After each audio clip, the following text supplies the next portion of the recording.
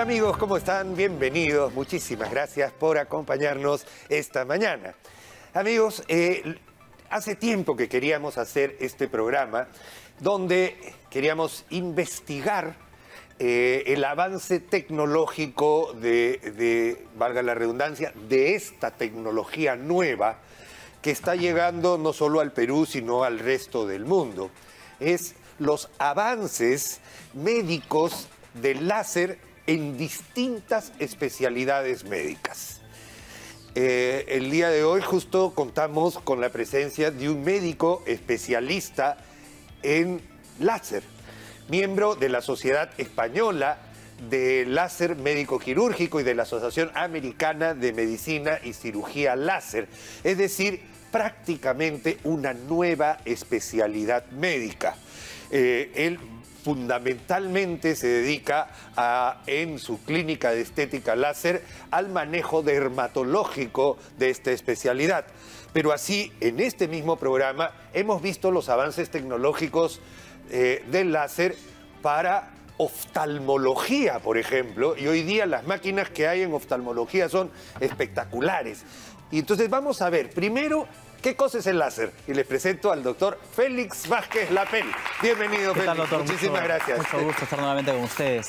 Bueno, el láser eh, está. Lo hemos visto nosotros, o sea, primero cuando- en la guerra de la galaxia, ya vamos a decir todo el mundo que quería su pistola láser, ¿no es cierto? Efectivamente, ese es un láser. Yo le digo, el, el láser de Star va un niñito a consulta para ser tratado. Yo le digo, este láser es igualito al de Star Walker. Ah. Y dice, ya, doctor, está bien.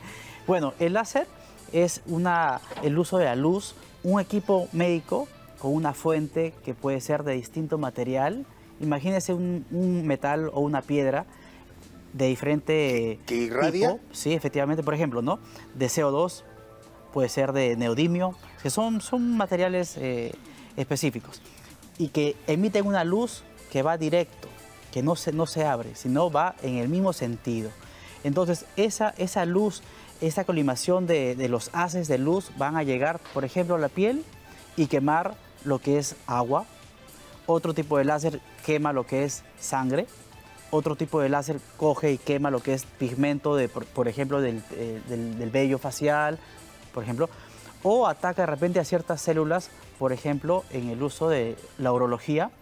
El láser está presente en la urología para tratar los tumores o los cánceres urológicos, el láser Olmium, por ejemplo. Y así tenemos muchos tipos de láseres empleados en las especialidades médicas. Todas están usando los láseres, porque es lo mejor, es lo más moderno, el que de repente eh, un cirujano plástico, una dermatóloga que no tenga un láser, un médico estético que no tenga un láser en consulta, está en la prehistoria. Entonces, hoy en día el láser debe ser usado de forma adecuada y de forma correcta. Por ejemplo, también en los, en los ojos, el, el que es un láser específico que corta la córnea en dos segundos.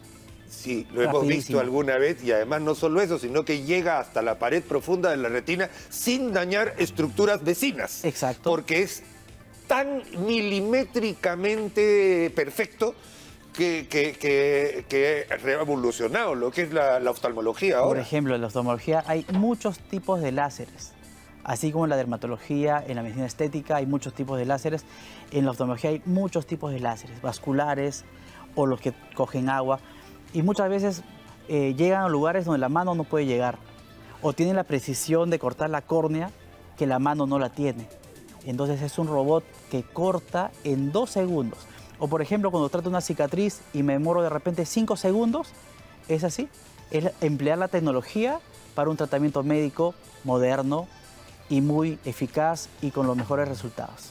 De acuerdo. Ahora, este gas de luz, doctor, se puede, primero, esto es algo que quería comentarles a ustedes, amigos, se puede guardar en una fibra óptica. Por supuesto. O sea, en una, vamos a decir, como en una cañita, en una...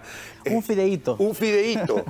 y, y no irradia para los costados, sino solamente en la punta, ¿no es cierto? sigue ese eh, lo he visto hasta en flebología, o sea, uno entra por una vena varicosa, una varices, se implementa el láser y el láser comienza a cerrar, a cerrar la, la varices que se supone está dilatada. Y estamos hablando de cirugía vascular. O sea, y ese es un avance tecnológico en unas... Maravilloso. Maravilloso.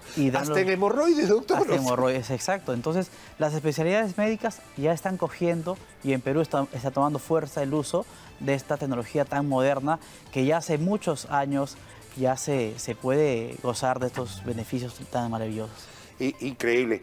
Eh, en el resultado del láser yo he visto en, otras cosas, especialmente en neurología, como usted dice, doctor, porque se puede entrar por, por cavidades muy pequeñitas del cuerpo y lo que hace en realidad es vaporizar, vaporiza, o sea, desaparece lesiones. Y eso es lo, mismo que hace en la piel también, ¿no es cierto? Entonces es vaporizar ni siquiera desintegrar, sino vaporiza, lo, vuelve agua. Lo vuelve agua, lo, exacto, lo vuelve vapor, lo hace un mito. un tumor, un lunar, una cicatriz. Y por ejemplo, en, la parte estética usamos mucho y nos, nos, enfocamos al uso de láseres en la estética como el CO2 fraccionado para un rejuvenecimiento, para eliminación de manchas, lunares, verrugas, imperfecciones en la piel, mm, blanqueamiento facial, eliminación del vello facial y muchísimos, muchísimos tratamientos estéticos maravillosos que gracias al láser nos dan resultados muy superiores a otros tratamientos antiguos.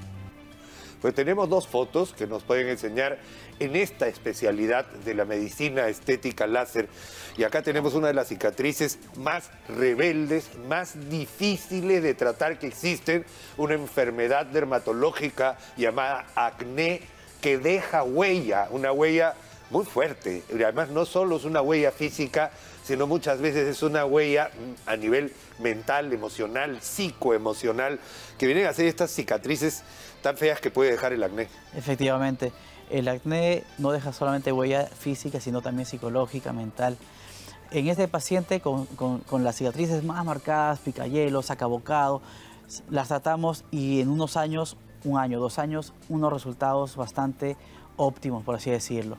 Es impresionante, doctor. Acá antes se hubiera utilizado peeling químico o peeling abrasivo. Y con resultados muy, muy, muy, inferiores. muy tenues y muy inferiores a lo que realmente Por ejemplo, estos, los, los peelings, por ejemplo, el peeling de fenol, que las dermatólogas lo, usan, el pro de láser es como que hiciéramos una comparación entre una máquina de escribir y ahora la computadora, o el dictado por voz. Es la tecnología que, hoy en día nos da resultados menos invasivos, menos, más seguros, menos dolorosos, más rápidos y con resultados. El peeling de fenol es maravilloso, pero por ejemplo deja la piel enrojecida muchísimos meses, hasta años, y duele muchísimo. Y bueno, ahora tenemos algo más moderno. Más moderno, y además esto ha mejorado también con el medicamentos como este, los geles anestésicos, que antes no se contaba, antes un chijetito así costaba una fortuna. Claro.